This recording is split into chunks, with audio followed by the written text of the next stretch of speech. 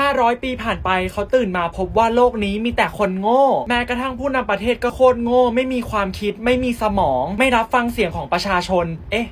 แนะนำหนังดีกับกู๊ r รีวิววันนี้เป็นเรื่องราวของโจ เขาเนี่ยเป็นทหารประจำห้องสมุดและมีชีวิตไปเรื่อยๆ ไม่มีพ่อแม่พี่น้องที่ไหน และเขาเนี่ยก็มีความรู้ความสามารถทุกอย่างในระดับกลางๆ ทางกองทัพเนี่ยเลยได้เลือกตัวเขาไปทดลองการเก็บรักษามนุษย์เป็นเวลา 1 ปี ในกล่องที่เหมือนโลงศพพร้อมกับโสเพณีที่ชื่อริต้าเหตุผลที่เลือกโจเนี่ยเพราะว่าถ้าเขาเกิดตายในการทดลองเนี่ยจะได้ไม่มีพ่อแม่หรือญาติพี่น้องมาตามตัวเขา พอทั้งคู่เข้าไปอยู่ในแคปซูลเนี่ยโชคร้ายที่หลังจากนั้นเนี่ยหน่วยทหารที่ทำการทดลองเนี่ยโดนสั่งปิด โทษฐานที่ไปพัวพันกับโสเพณี พวกเขาจึงโดนลืมอยู่ในโรงจนกระทั่ง 500 ปีผ่านมา พวกเขาจึงได้มีโอกาสมาเจอโลกภายนอกเพราะกองขยะถล่มและได้พบว่าคนในยุคนั้นน่ะโง่มากๆ สาเหตุเพราะคนที่มี IQ เยอะอะจะแต่งงานกันเอง และไม่ค่อยมีลูกหรือว่าไม่มีลูกเลยทำให้สูญพันธุ์ไป ในขณะที่คน IQ ต่ำเนี่ยกลับออกลูกออกหลานเต็มเมือง คนก็ฉลาดน้อยลงจนไม่สามารถแก้ปัญหาง่าย ๆ ในชีวิตได้ โจถูกจับตัวได้และถูกนำไปทดสอบ IQ และวิธีทดสอบอะจะติงตองมากเลยทุกคนต้องไปดูนะ แล้วคนในยุคนั้นน่ะก็จะทำไม่ได้